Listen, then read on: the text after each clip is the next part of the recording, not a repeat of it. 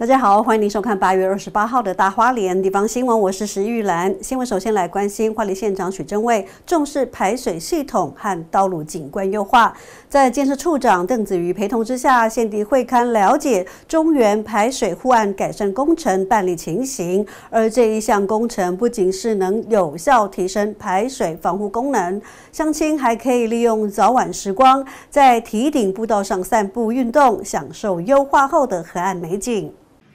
中原排水沟一 K 加二五二 K 一 K 加四三二护岸改善工程，三月五号开工，并且在八月二号竣工。这次工程内容包含有人行步道铺面的改善、新设护岸及人行步道、设置一处生物通道以及仿木栏杆的设置，还有排水沟以及集水井设施。确保区域排水系统的全面提升。现在许政委会看的时候，不仅要求相关单位务必做好保护护岸的高度以及结构符合防洪的标准，保障居民的生命财产安全，还特别指出工程设计必须兼顾美化，让乡亲在享有安全防护的同时，也能够亲近自然，享受优化的宜居环境。建设处长邓水表示，吉安中原排水区段的。护岸设施逐年老化，部分区域甚至缺乏护岸的保护。为了解决这项的问题，县府结合既有的排水治理计划，投入约一千一百五十万元经费，办理老旧护岸改善工程，同时也将护岸堤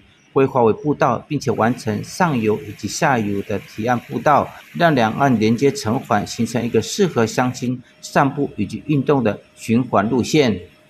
记者钟建祥报道。